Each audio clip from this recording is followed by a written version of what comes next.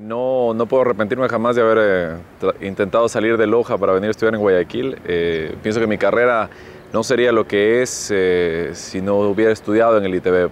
Yo creo que como estudiante tuve la oportunidad de tener profesores excelentes, profesores de altísima calidad que han sido mis maestros y hoy en día son mis amigos, con algunos ya he tenido la oportunidad de trabajar incluso.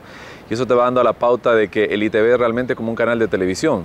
Pienso que el ITV tiene un plus agregado que es el hecho de que tú aquí encuentras todas las carreras que te permitan complementar. Los de actuación siempre están trabajando con los de producción, igual que con los de comunicación. Eso es un trabajo en conjunto, que es lo que generalmente pasa en un canal de televisión. Eso es lo que te da el ITV que hace distinto eh, el método de enseñanza. Y es como estar en un canal de televisión. Es exactamente lo mismo.